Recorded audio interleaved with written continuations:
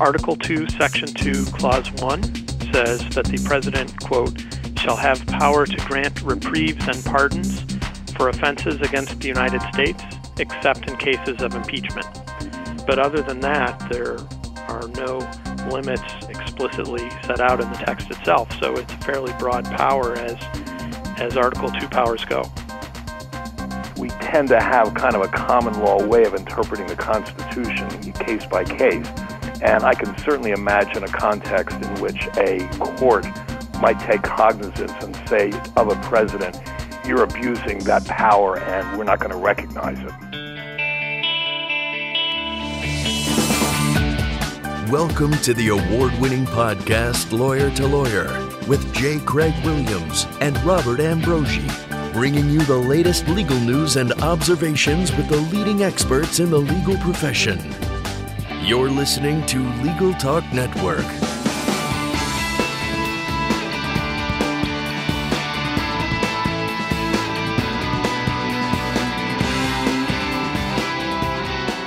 Welcome to Lawyer to Lawyer on the Legal Talk Network. This is Bob Ambrogi coming to you from a little bit outside of Boston, Massachusetts. I write a blog called Law Sites, also co host another Legal Talk Network program called Law Technology Now, along with Monica Bay. And uh, when I'm not doing all that, I'm practicing law. Uh, my co-host J. Craig Williams uh, is not able to be with us today. He's uh, he's away, and uh, we'll be back on our next show. Before we uh, introduce today's topic, let me just take a moment to quickly thank our sponsors, Clio and Litera. Clio's cloud based practice management software makes it easy to manage your law firm from intake to invoice. Try it for free at Clio.com. That's C L I O.com.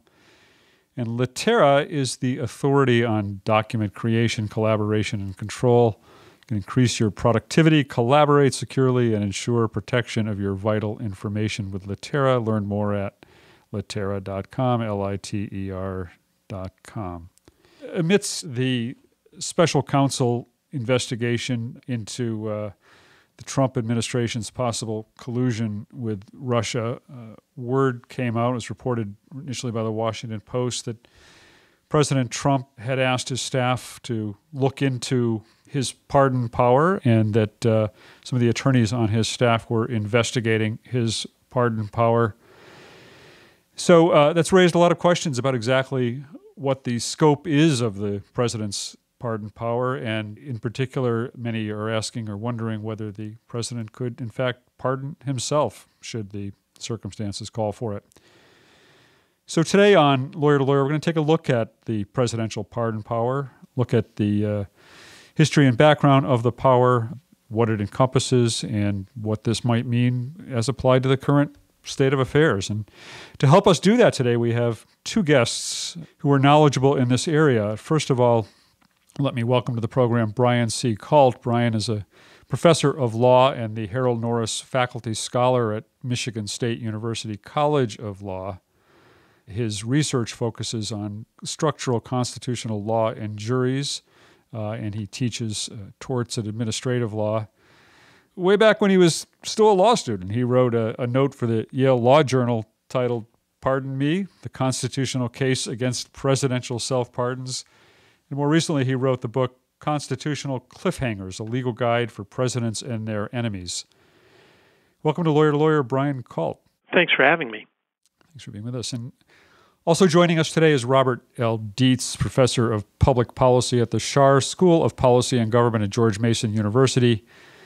Uh, Bob was a senior counselor to the director of the Central Intelligence Agency from 2006 to 2009. From 1998 to 2006, he was the general counsel at the National Security Agency, where he represented the NSA in all legal matters. He's also held positions as acting general counsel at the National Geospatial Intelligence Agency and as acting deputy general counsel intelligence at the Department of Defense. Welcome to Lawyer to Lawyer, Bob Deitz. Thank you. It's a pleasure to be with you. Thanks. Brian, I have to vary a little bit. I'm just I'm curious. Uh, back in 1996, when you decided to write that note on whether the uh, president could pardon him or herself. Bill Clinton was president at the time. What what prompted you to write that back in 1996? Well, in 1996, the whole Whitewater investigation was still pretty hypothetical. I was just in a criminal procedure class, and we were talking about presidential pardons, not something that you spend a lot of time talking about in Crim Pro, but I asked the professor, uh, I said, Can the president pardon himself? And he said, I don't know. You should look into that. So I did. And I got my my note out of that and uh, convinced myself that the best argument was that he couldn't pardon himself, but it was an open question then. It's an open question now. It's been talked about at the end of Clinton's term. Uh, people talked about it at the end of Bush's, and now they're talking about it again. So I'm glad I thought about it when it was hypothetical and not in the light of a particular case, because then I could figure out what I thought without regard to whether I liked the president or not. I want to discuss uh, in more detail the the president's ability to pardon himself. But before we do that, I want to step back and look at the pardon power itself. And, and Brian, I wanted to ask you if you could uh, set the stage for us by telling us what the Constitution says about pardons. Sure. Well, Article 2, Section 2, Clause 1 says that the president, quote, shall have power to grant reprieves and pardons for offenses against the United States, except in cases of impeachment. So, by limiting it to offenses against the United States, that's applying only to federal criminal uh, proceedings. And except in cases of impeachment, that separates out impeachment as a congressional political process that is not about criminal law and is beyond the reach of the pardon power. But other than that, there are no limits explicitly set out in the text itself. So it's a it's a fairly broad power as as Article Two powers go. And why, Bob Deitz? Do you know what were the framers thinking? Why did they include this power in the Constitution? This was a traditional power of the crown, and I think they just brought it in uh, because of the, of the prior experience. And you know, I agree with everything that Brian has said so far. It is incredibly terse language, uh, unqualified. Yeah, as you know, we tend to have kind of a common law way of interpreting the Constitution, case by case. And I can certainly imagine a context in which a court might take cognizance and say of a president, you're abusing that power and we're not going to recognize it. Now, whether that would apply to pardoning himself, I don't know the answer to that, but that's a, that's a different issue. As you may know, in, in Virginia, I think it was this past year, or perhaps two years ago, Governor McAuliffe provided pardons to a, a kind of a class of people. And this was challenged, and the Supreme Court of Virginia said, no, you can't do it that way. Governor McAuliffe then went back to the drawing board and made it more particularized. So certainly, there's at least in principle, there is room for a court to examine exactly how the president uses the pardon power. I think. Do you think there have been instances in history where a president has abused the pardon power, Bob? No, I, not not that I'm you know not that uh, certainly not that it's been adjudicated, but for example, uh, in the last I think the last couple of weeks of his presidency, President Clinton pardoned Marc Rich, uh, who was a fugitive from justice living in I think Zug, Switzerland, and um, Mrs. Rich had made substantial campaign contributions to Mr. Clinton, and he pardoned Rich. And there was an outcry. Uh, I mean, I don't think anybody said that he didn't have the power to do it, uh, although I may be wrong about that part. But yeah, there was a political outcry and said this is an abuse, but you know, nothing happened. So, Brian, do you agree with that premise that there could be instances in which a court would step in and say the president has gone too far with this exercise? Again, accepting the question of, of pardoning him or herself, but could this go too far? Well, I, I think that the federal pardon power is pretty difficult for a court to second guess in that way. Uh, there aren't any procedural requirements. I think in the Virginia case, there were some procedural niceties that needed to be followed. And there's the political question doctrine, where courts are reluctant to second guess the exercise of a power like this that is given by the Constitution pretty much exclusively to the president, just like they won't second guess an impeachment. It's up to Congress to figure out what's impeachable and what's worth convicting, and you can't appeal that through the court system. I think similarly, the courts look at the pardon power as sort of a, a check on the judicial system. and um, would be reluctant to adjudicate, other than in a case where the president purported to be using his pardon power but was doing something that wasn't actually a pardon. So they would they would police the boundaries of the pardon power, but within the power itself, I, I think it's very unlikely that they would overturn it. If a pardon got into court, it would be something like a version of the Marc Rich case where there was some evidence of a quid pro quo.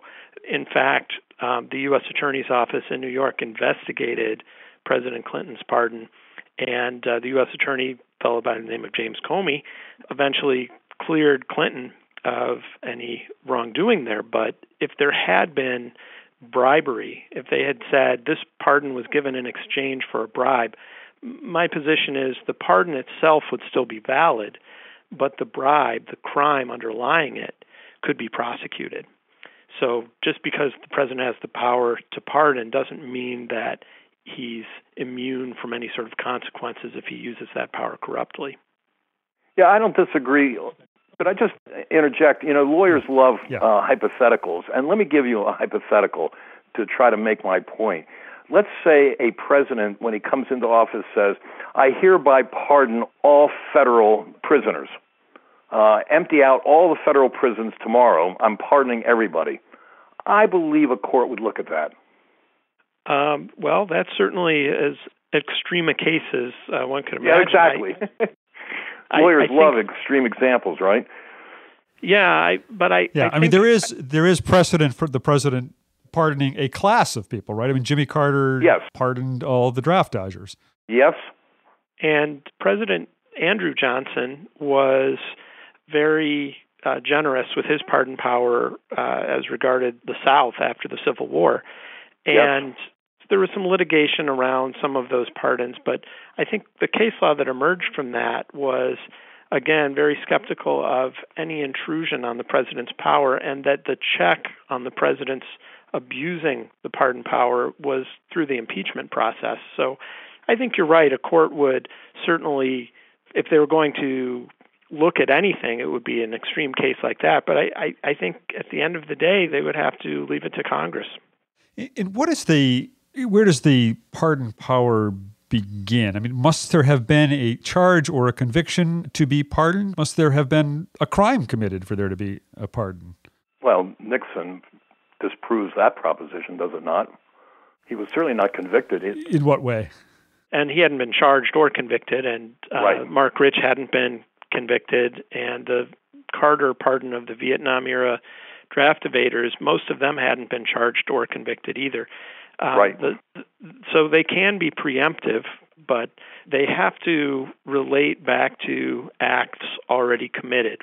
Whether they've been the basis of a charge or conviction or not is irrelevant, but you can't pardon something that hasn't been done yet. But as, as long as the subject of the pardon is something that's already been done, it doesn't have to have been something that the person was charged with, let alone convicted of. Agreed. Yeah.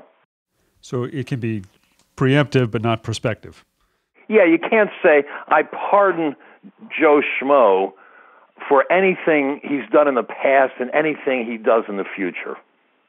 And I, I think that's an example of where a court would intervene um, because they would say, you know, so someone might say, well, it doesn't say in the Constitution that it has to be retrospective. And what the court would do is would uh, they would say, if it's not retrospective, then it's not a pardon. It's a right. uh, suspension of the law. And so anything that's a pardon we'll give that deference. We might not even take the case.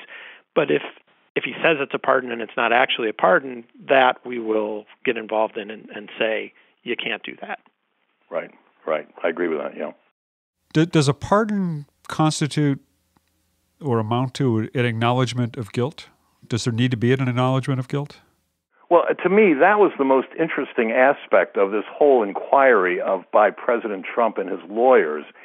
Is that you know I always assumed that Mr. Trump was concerned uh, with respect to Russia about things that fell more into the peccadillos category. Uh, you know, perhaps some personal conduct when he was in Russia, or perhaps some aspects of business dealings that might be a little uh, iffy. By looking at, at the pardon power, that's by hypothesis, is a crime, which means that he and his lawyers must actually be concerned that there is criminal conduct lurking there. And I found that really, really surprising. My take on this is a little different, and I had a piece about this in the uh, Wall Street Journal uh, a couple of weeks ago because it is true that in almost every case, a pardon is based on guilt. In fact, if someone is applying through the usual process where the Department of Justice vets pardons and uh, applications and makes recommendations to the president, you're not allowed to even apply for one until you've been convicted, served your sentence, and some time has passed after that.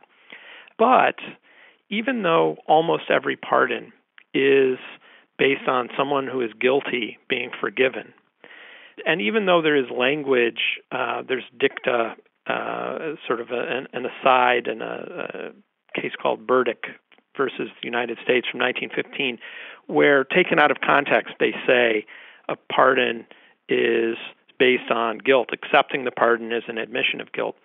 The pardon power does encompass the ability to exonerate people. It, it's almost never used that way, but there would be nothing stopping the president from saying something to the effect that uh, there's a criminal investigation, but it's unfair, it's inappropriate, it's a runaway prosecutor.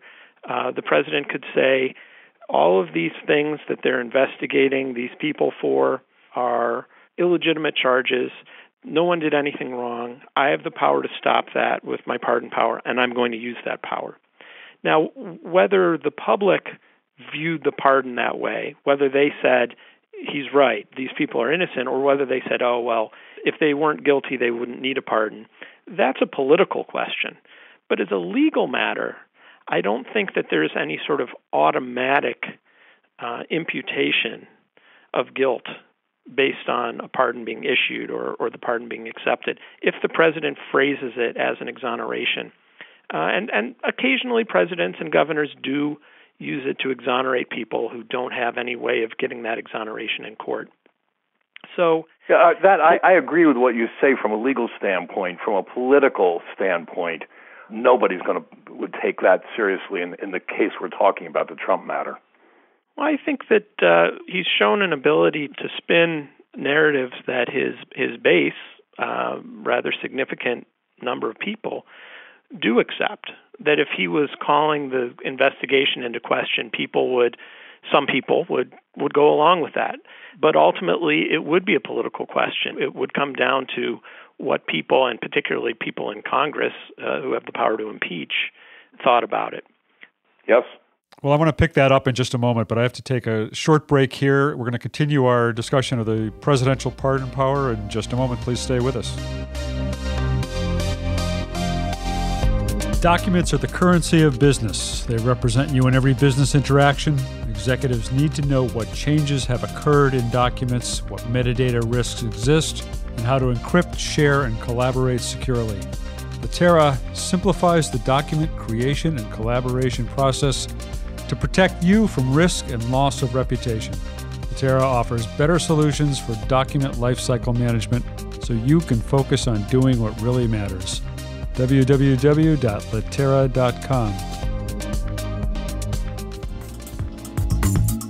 Imagine what you could do with an extra eight hours per week. That's how much time legal professionals save with Clio, the world's leading practice management software. With intuitive time tracking, billing, and matter management, Clio streamlines everything you do to run your practice, from intake to invoice. Try Clio for free and get a 10% discount for your first six months when you sign up at their website, Clio.com, that's C L I O.com, with the code L2L10, that's L2L, the number 10. Welcome back to Lawyer to Lawyer. This is Bob Ambrogi, and joining us today are Brian Kalt, professor of law at Michigan State University College of Law, and Bob Deitz, professor of public policy at the Schar School of Policy and Government at George Mason University. We're talking about presidential pardon power. And uh, I do, I, I want to get to the big question here uh, that's been bandied about quite a bit, which is whether the president does have the power to pardon himself should the situation arise. And I want to ask both of you about that. But Brian, let me start with you. Well, um, I've argued that the president does not have that power, but I think we have to start from the idea that there really is no way of predicting what a court would do. There are arguments on both sides. And I could see there being votes, maybe enough votes, for saying that he can. I, I if I were a judge, would not vote that way. But I, I don't want to say that this is settled and that he can't do it because really we don't know. The arguments are a lot simpler on the side to say that he can do it, which is you look at the Constitution, it doesn't say he can't. It says he has the power to pardon. It doesn't say anything about an exception for self pardons. Uh, the argument on the other side, there's a historical part of it, which is sort of too much to get into here, but there are two main parts. One is just the general notion, like uh, Bob had referred to before, we read common law notions into the Constitution sometimes. The general notion that you can't be the judge in your own case. And if you want a pardon, you have to get it from someone else. Uh, just like if you're on trial and you're a judge, uh, someone else is going to preside over that trial, not you. And there's there's counter arguments to that, but I think that's a powerful uh, a powerful argument. And then the other one is just that a pardon, just by its definition, is inherently bilateral. It's something you can only give to someone else. And again, that's not in the expressed in the text, but as we said before, the the idea that you can only pardon retrospectively isn't written in there either. It's just inherent in the notion of what a pardon is.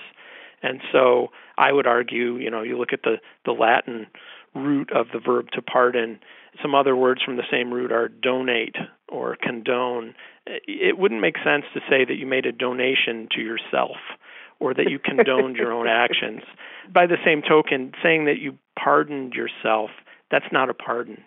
Uh, it's inherently, it, it just doesn't make sense. And so it's just inherently outside the definition of the pardon. That's, if I were a judge, that's how I would base my ruling that the president cannot. But we don't know. And Bob, what's your opinion on this? Can the president pardon himself? Yeah, I agree with everything that um, Brian has just said. I think that, I guess my sense is that these constitutional questions, again, because of our kind of common law tradition, are so factually driven. And I think it might well depend, certainly at the trial court level, on the facts that were adduced to uh, in the case.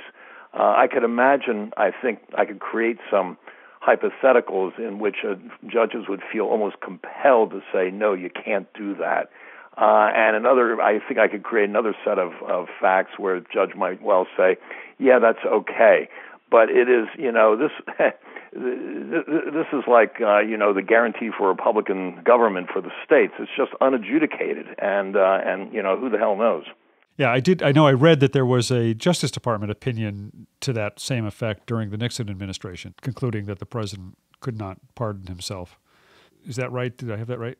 Yeah, Nixon, when he was at the end of his uh, rope there, uh, asked his own team uh, what his options were, and one of the options, his his personal lawyer said, you could pardon yourself. That is possible. The Department of Justice at the same time analyzed it, wrote a memo relying mainly on the can't be a judge in your own case idea, said that the president could not pardon himself. And of course, they would be the ones prosecuting. And so it's no surprise that the lawyers on either side came to different conclusions there. But presumably, if the president did try to pardon himself and if the prosecutor wanted to pursue him anyway, then and only then would a court have to decide. But those are some pretty big ifs. But uh, yeah, if I could just add something to that. Yeah. In order to challenge a pardon, there has to be a case or controversy.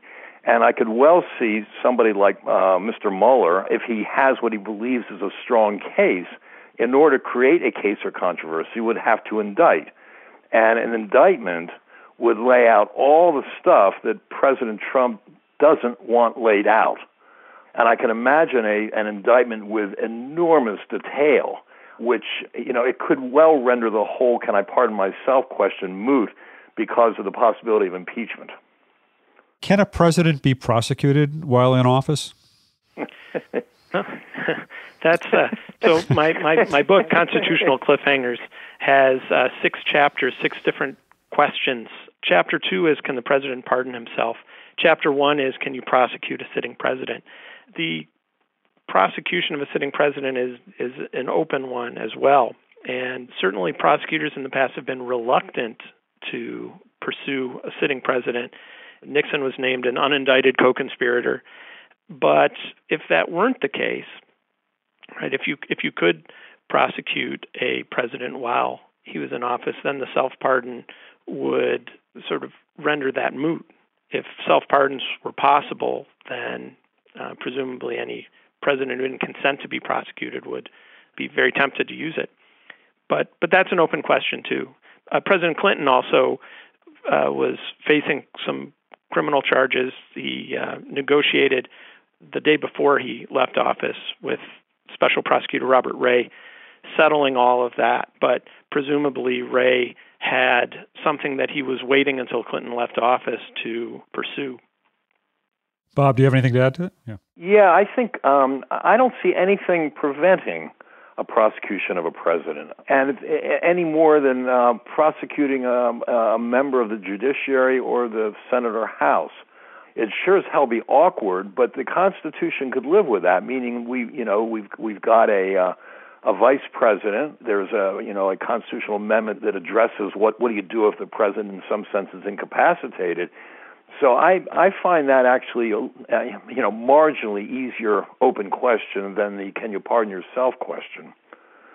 Well, I would just I would distinguish prosecuting a judge or a member of Congress, uh, and, and, I agree there are good arguments on both sides, and it could go either way. But uh, the president, under the unitary executive theory, the, the, you look at the first clause of each article of the Constitution. Congress has hundreds of members in it, and if one of them is away being prosecuted, they can still function. Uh, the judiciary has hundreds of judges in it, but the president himself uh, is the repository of all of the executive power of, of the country. So, for the executive branch of the federal government to be prosecuting its own head is a little strange. There's some uh, issues with a state purporting to do that as well. And yep. then, if um, if the president is being prosecuted, and you, you mentioned that the, the vice president is there as his understudy, but if the president doesn't want to hand power over, it's actually pretty difficult to force him to. And yep. I think the question is you look at the Constitution and you say who's who's in a position to force the president to give up power before his term is over. And I think impeachment sort of shines uh, in the Constitution as the mechanism that we're supposed to use in those situations. And I think that's why prosecutors have been reluctant to get out in front of Congress. That's why Ken Starr sent his report to the House rather than trying to indict Clinton himself. With regard to the ongoing uh, Russia investigation, were the president to, say, pardon somebody uh, in his inner circle, how would that affect the special counsel investigation, and what impact would it have on any congressional investigation separate from the special counsel's investigation? Well, the kind of odd thing about President Trump pardoning, say, you know, Junior and Eric and um, and his son-in-law, is that at that point they're out of legal jeopardy, which means they no longer have a Fifth Amendment right, uh, which means that that then Mr. Mueller can get everything. And in some ways, if I were President Trump's lawyer, I would weigh that very carefully. In some respects, I think President Trump would just as soon all these people. Um, uh, claim Fifth Amendment privilege. And I guess the same would go for any congressional investigation as well. Uh, yeah, I mean, I assume, and I don't know this, but I assume that the congressional investigation is coordinating at, at some level with the Mueller investigation. Remember what happened with um, with Ollie North, uh, and I don't think they want a repeat of that. Yeah, I, I agree that the pardon would make it harder to convict the people being pardoned, but it would make it easier to investigate, and Congress would not have to worry as much about them pleading the fifth, although they might still be able to plead the fifth in light of the fact that the pardon could only touch federal criminal charges. So if they had a plausible argument that there were potential state criminal charges, they might still be able to plead the fifth. But there's no way that the pardon power would derail the investigation itself. And if, um, well, I think the analogy is to Iran Contra. You mentioned Ollie North. When President Bush 41 had already lost uh, his reelection bid, but was still in office. Sorry, we got a fire truck going by here. Um, he was still in office. It was just before Christmas, 1992, and he pardoned everyone facing charges in Iran Contra, including Caspar Weinberger, whose trial was supposed to start a week and a half from then. And that shut down the investigation. It didn't shut it down because there was nothing left to investigate, because Bush himself was under investigation. But the prosecutor said, There's no one left to prosecute except Bush and I'm not going to prosecute him, so I guess I just have to go home now. And and that's what happened. So as a practical matter, it might take all the air out of the investigation if there's no one left to prosecute but the president. It might have that effect. On the other hand, if the prosecutor really does want to pursue the president, as Bob mentioned, it would make it easier to get testimony against him, assuming that people could be forced to testify. They, they might just say, well, I can't plead the fifth, but I don't remember anything. So there's not much you can do about that. Um, you know, bear in mind though that, that given our, our president's penchant for identifying fake news and, and you know there's nothing to this, et cetera, et cetera, I would think that human nature on the part of a prosecutor might make him reluctant just to sort of fold his tent, as though, yeah, I guess he was right, there was nothing here, uh, and that's why I lean more toward a prosecutor forcing the issue by bringing a case or controversy, by bringing some sort of an indictment, or at least a very full report to the American people explaining to the best of his understanding what actually happened. Well, we are just about at the end of the time for this show. Uh, before we wrap up, I'd like to give each of you an opportunity to give us your final thoughts on this topic. And if you uh, care to let our listeners know how they can uh, follow up with you or, or find out more about your work, uh, welcome you to do that as well. So, Bob Deitz, why don't we start with you? Yeah, sure. I I find this, you know, I've been in Washington my whole career, and I often feel that I've kind of seen everything. And then, uh, and then something like this arises, uh, in which it's forcing everybody, not just lawyers, but you know, citizens, to think about their country, their constitution, what it all means, and so forth. And you know, in many ways, I think that's that's healthy. It, it's clear that our institutions, to my mind at least, it's clear that our institutions are holding, and I find that positive to me, what matters most about what's going to come out in the next uh, number of months in this investigation is what facts are going to come forward. And I think everything that follows from that, whether it's prosecutions, pardons, or impeachment, will depend upon the power of those facts. Um, I'm at George Mason University. Uh, they've got a website. I'm reachable. My email's there. I'm reachable. All right. Thank you very much. Uh, sure. And uh, Brian Kalt, your final thoughts. Well, I like to pick up where Bob left off and agree that the facts are important. And in a sense, this is a very premature discussion because we don't we don't know what uh, the investigation is going to come up with. We don't know how the president's going to react. We don't know how Congress will react to that. But I do think that it's an important reminder of the original constitutional design here. When the framers at the Constitutional Convention were discussing the pardon power, they were very concerned that presidents would abuse the pardon power. They discussed the prospect of a, a bunch of co conspirators led by the president committing treason and thought maybe they should limit the pardon power to prevent the president from pardoning people in that situation. And faced with that uh, extreme hypothetical, they decided that it was inappropriate to limit the pardon power, that they needed to give a broad, unrestricted power to the president, and that if he did abuse it in that way, that the remedy was impeachment. So when people talk about the Constitution as sort of guaranteeing some good result, oh, we, we couldn't do that because that would be terrible. The Constitution can't allow that because it would be uh, it would put people above the law. The constitutional design is to remedy that with impeachment, to give the president the power and give Congress the power to punish that. I would direct people who want to get in more into the details to check out chapter 2 of my book, Constitutional Cliffhangers: A Legal Guide for Presidents and Their Enemies. It's available on Amazon. I think they have a few copies left, and there's the Kindle version. And I'm always happy to reply to emails. And I'm at Michigan State University, and they have a website. You can get all my contact information there. Well, as of earlier this afternoon, they still had a few copies left because I checked that out myself. So thanks a lot to uh, both of you. Uh, we've been talking to Brian Kalt, professor of law at Michigan State University College of Law, and Bob Deitz, professor of public policy at the Schar School of Policy and Government at George Mason University. Uh, really appreciate your uh, thoughts and insights on this topic. Thanks for taking the time to be with us. You're very welcome. My pleasure. And that uh, brings us to the end of another show. Uh, thanks uh, to uh, our producer, Kate Nutting, our audio engineer, Adam Lockwood, our executive producer, Lawrence Coletti, and all the good folks at the Legal Talk Network. And thanks to you for listening. Join us next time for another great legal topic.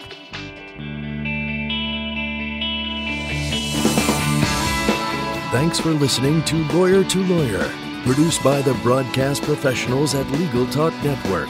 Join J. Craig Williams and Robert Ambrogi for their next podcast covering the latest legal topic.